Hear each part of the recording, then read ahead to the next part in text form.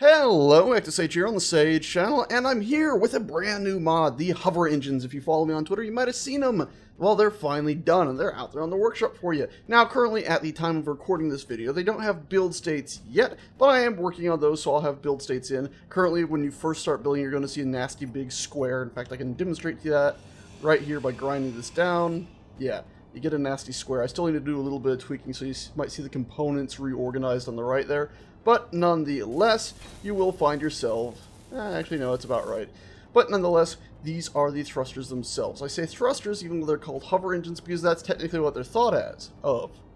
But you won't have to worry about them burning things. What's their power, you might be asking? Well, they're about a little over two-thirds of the power of a standard large atmospheric thruster. But, of course, they're only counting as a 3x3 block. And you see down there at the number 9 hot slot, can actually select them, and when you go to place them, the rotation point is around their little single block rotation area, so you can actually manage to place them pretty accurately. Unfortunately, there's no way to have the collision and placement volume only be like a one by one block there and then have basically the collision volume prevent you from placing it. So you unfortunately can't build right up next to it, like I can't put a block on top of that one I just placed.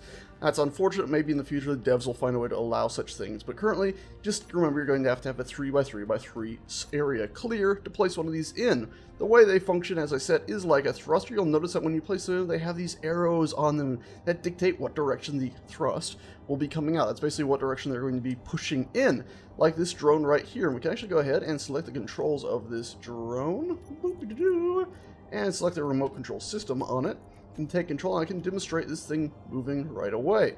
And you see there, it's hovering, just as you would expect with a hover engine. And I do, of course, have four of these. Now, their power usage, even though their power output is lower than a, and by the way, it drops, I think, because it has a rotor on the bottom of it, so it can't really counter it exactly correctly.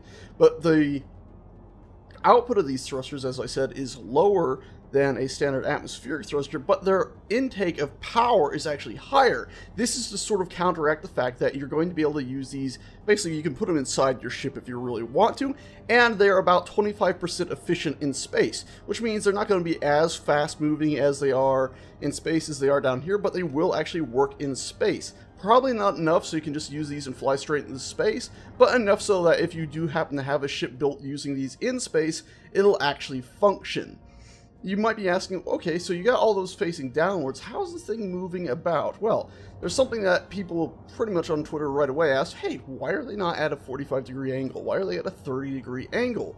Like this one here, you can see it's not a 45 degree angle slant, it's a 30 degree. Well, that's because if you rotate them like this, of course the thrust will be now be going that way, so you got these thrusters set in a different direction. These are all, of course, just the same one, just rotated around in a different manner. So you can see here, you see the arrows on that. If we decided we wanted the thruster facing downwards, we've rotated around and now we can put this down and it would make us descend quicker if we were to fire that thruster. Again, this thing is dropping strangely just because we have this stupid rotor on it and they're not countering for that exactly correctly. What else do we got? I think that's the basic gist of it. These do have LODs, so they start out with, I don't know, around 2,000 something polygons each, and then they drop down to around 500 or so once you get far enough away.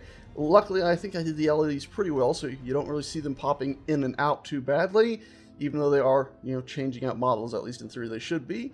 What else do we got to show? Uh, coloring, you can indeed color them. Uh, let's go ahead and move this so they're actually in sunlight a little tiny bit. And you can see the when you color them, there's actually some fading to the metal as if maybe some of it's been worn away from use.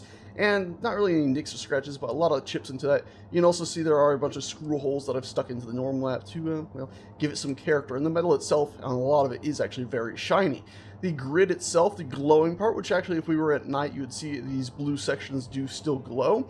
That'll actually remain glowing, of course, at any time. I couldn't find a way to make it so they would light up when they're in use, so the actual glow is always there. It's rather unfortunate. I'd like it so that if there's no power, it goes completely black. If it's minimal power to full thrust, they gets brighter and brighter, but I don't know of any way to set that up at the moment. If we were to look in very closely, though, you can see, and actually, we'll go in spectator mode here, forgive us for being under the ground, and fly up to it. You actually see we have a few, well, a fair amount of detail here where it drops down. You get the main output here, and then a little cut in here or if the camera clips and you can actually see it's got an indentation to it. I'm very happy with the overall design to it, and being this close, you can see we actually do have a fairly high poly count because there's a fair amount of detail stuck into it. And again, of course, our arrows here. On the back of it, we have more detail and more little warning things to indicate that, hey, this is a fairly hefty machine, you gotta be cautious. And of course the moving arms, which unfortunately don't currently move. It would be nice if you could set them up to actually move in some way. You can see their idea they'd be slightly pistons-like, and then they'd have their rotation sections here, but no such luck on that at the moment, they're just static. And of course, as I said, you have your connection point right there, and on the bottom. Nowhere else on this can you place a block, which I that's the way it's supposed to be. As I said, though, it would be nice if I knew some way that you could I don't. I believe there is actually physically no way, but hopefully the devs will integrate a way where you'll actually be able to set it so you can build right up next to that placement block, but just not inside maybe the collision volume of the actual thing. Because it does have a proper collision volume if you use Alt-Shift F12. Uh, for some reason it's not showing up on that one, but you can see up here they do have a relatively tight collision volume around them. Also, of course, you can color them other colors than just red, and you see the textures will have the same similar scuffing on them, but they will of course have the same fades, but of course the different colors if you decide to even color it a silly yellowish green. And this is actually a white, so if you wanted one that looks pretty clean, you'll even get that. Overall, I'm very, very happy with this.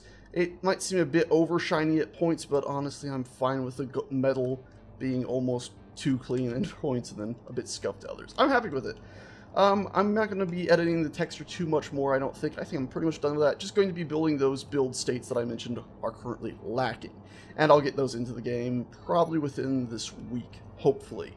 Uh, you can see over here, there's that roving fortress I made ages ago with the accidental boat this is one of the ideas I actually had in mind when I built the thing, is the idea that I could eventually take out the wheels. Now, I'm probably going to have this small version here, which I say is small, you know, it's obviously a fairly decent size, but I might have a version that's about twice the size of it, where this blocking point here, instead of it connecting with one block, it'll connect to four, that's how much bigger it'll be, and uh, we'll see how that works out. You might see that within the next week or two, maybe even within this week, not sure. By the way, though, let's just once again demonstrate that you can control a ship like this. And I'm going forward now. I like these an awful lot. I'm very happy with them. I love the how their texture turned out. I do wish I could have a lightning effect on them. I did spend about a whole day passing about and trying to figure out a way to stick a lightning effect on it, but no dice there, unfortunately. Um, yeah, about the only thing I could figure out was like an old-fashioned modding technique where I can make a lightning effect and have it sort of appear, but it would only be on my side. You know, you'd have to manually install a mod for it like the old days. I couldn't find a way to get a custom flame effect.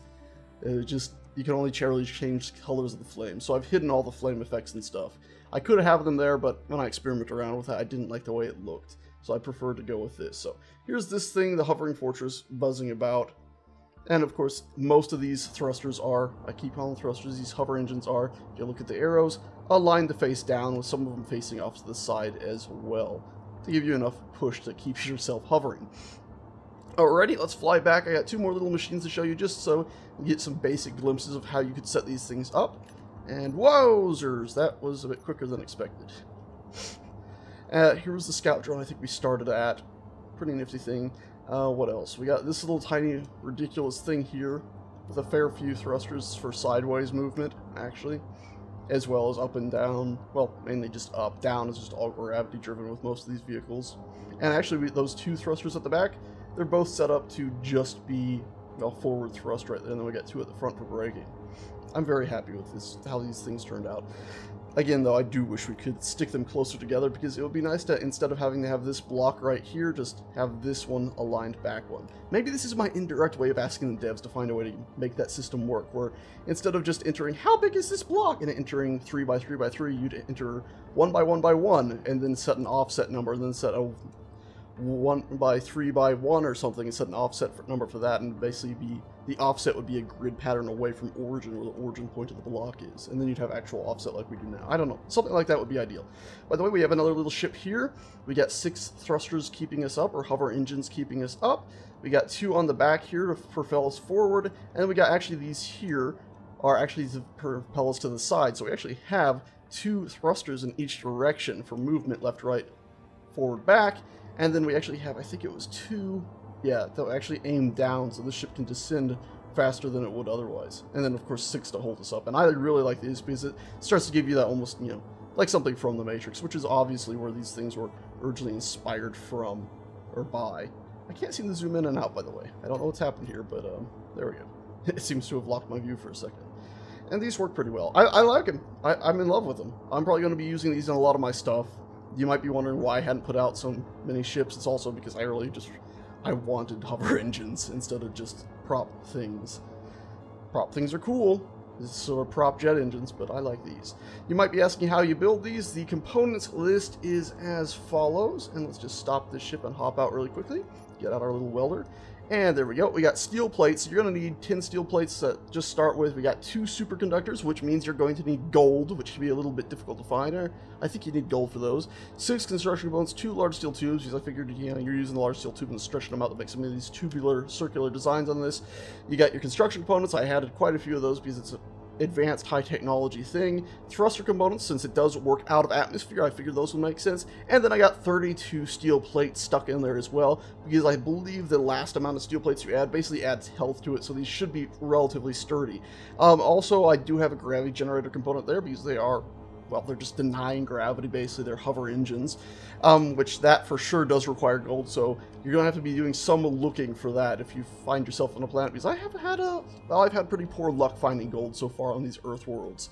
So, anyway, not exactly a starter engine, you're going to have to work a little bit for it, but I love them. I love the way they turned out, and, um, yeah, I'll try to keep updating them with a larger version, and then eventually if I can wrap my head around how I make a version for a large ship while still having some interesting connection things without just having this scaled up to some stupid proportion, then I'll figure that out. Alrighty guys and gals, that is that. I hope you like this thing. It'll be in the Steam workshop right away. It should be there right now at the time this video has gone live.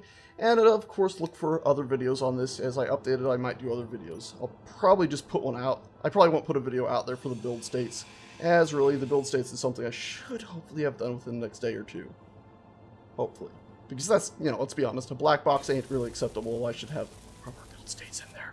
Alrighty, guys. Ta-ta. Thanks so much for watching, and I shall see you next time. Goodbye.